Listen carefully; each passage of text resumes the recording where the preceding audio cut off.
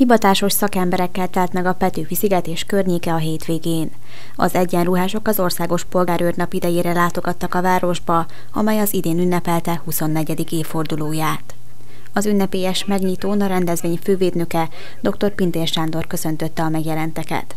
A belügyminiszter beszédében kiemelte, a hivatásos szervek munkájának köszönhetően hazánkban évről évre csökken a bűncselekmények száma, mára pedig Magyarországot a 15. legbiztonságosabb országként tartják számon.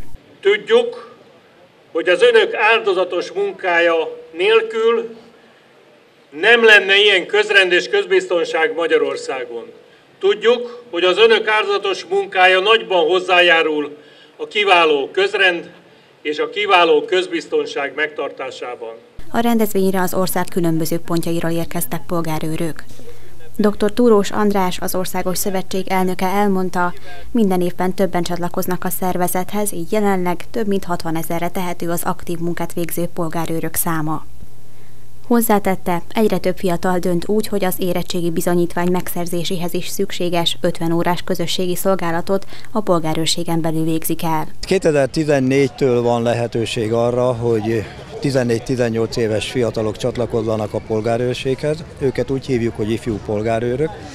Azt nem azt mondom, hogy nem teljes értékű polgárőrök, de nyilvánvalóan, mivel fiatalokról, fiatalkorúakról van szó, ezért csak felnőttel közösen teljesíthetnek szolgálatot, és speciális feladatot láthatnak el. Igazából azért is, mert az érettséghez kellett az 50 órás közösségi munka, és a polgárőrség ezt biztosította. És ezért is csatlakoztam. A rendezvényen az Országos Szövetségen belül tevékenykedő kutyás és lovas tagozatok is bemutatkoztak. Utóbbi képviselői egy látványos műsorral készültek az érdeklődőknek, amely során a lovas polgárőrök mindennapi feladatait mutatták be szituációs gyakorlatok segítségével. Ahogy lehetett látni, vannak olyan feladatok, ahol például fegyverrel lőnek, vagy láncfűrészes hadonászó emberhez kell oda menni.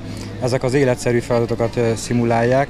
Egy vashordó egy telephelyen, ha leesik egy utánfutóról vagy egy autóról, a ló nem célszerű, hogyha kiúrik a lovas alól, tehát ezt is szokják. Sem Baján, sem pedig a megyében nem rendeztek a korábbi években polgárőrnapot, így nagy jelentősége van annak, hogy első alkalommal biztosíthat helyszínt a rendezvénynek a város, mondta Fercsák Robert polgármester. Itt van gyakorlatilag Baja városában ebből az alkalomból az összes rendvédelmi szervnek a Magyarországi Rendvédelmi Szervnek a képviselője, magasrangú képviselője, első számú képviselő, és itt van maga a belügyminiszter is, ezt azt gondolom, hogy magá, önmagáért beszél, tehát nagyon nagy jelentősége van ennek, nagyon nagy jelentőséggel bír. A szigetre látogatók a délutáni órákban sem maradtak programok nélkül, akkor lovasjárőrverseny és a kutyás tagozat bemutatója várta a vendégeket.